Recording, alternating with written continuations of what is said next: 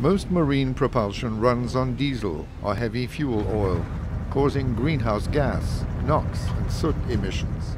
As the sector will grow in the coming decades, new legislation pushes the industry to innovate and apply environmentally friendly technologies.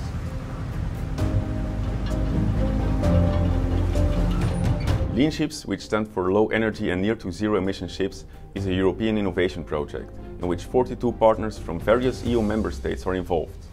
The collective goal of all partners is to put innovations into practice by means of seven demonstrator cases. We have dedicated teams made up of equipment manufacturers, shipyards, ship owners, research institutions, which are all working hard together to make technologies more mature and to demonstrate feasibility to ensure market uptake. One of the project teams aims to demonstrate the potential of methanol as an alternative marine fuel.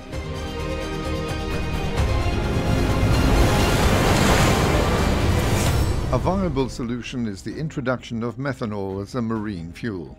As one of the most widely shipped chemicals in the world, methanol is readily available through existing global terminal infrastructure.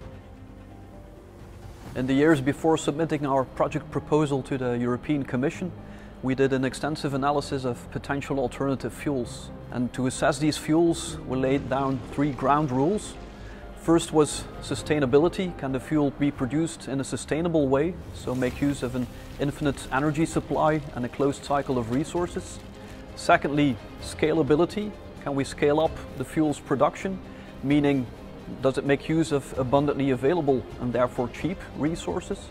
And third, is it sufficiently compact? So does it offer a high enough energy density? And judged by these three criteria, methanol came out on top.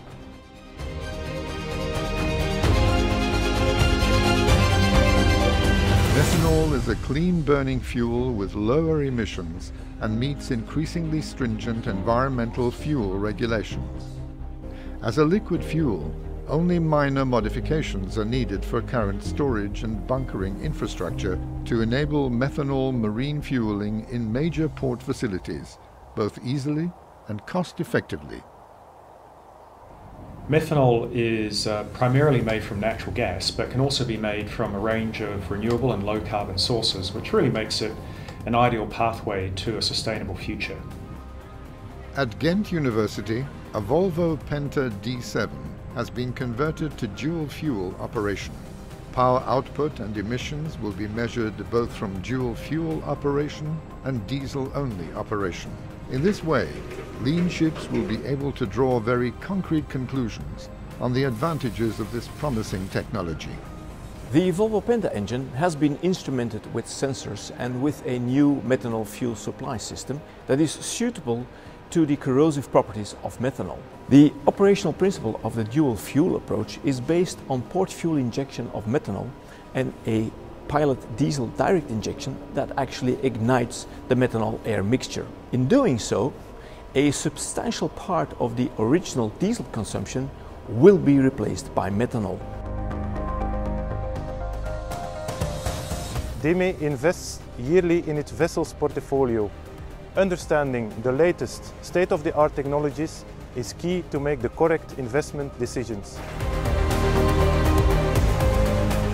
Abeking and Rasmussen sees daily that market interest in sustainable vessels is increasing. Together with lean ships, Abeking and Rasmussen believes that it makes a major contribution towards sustainable shipping.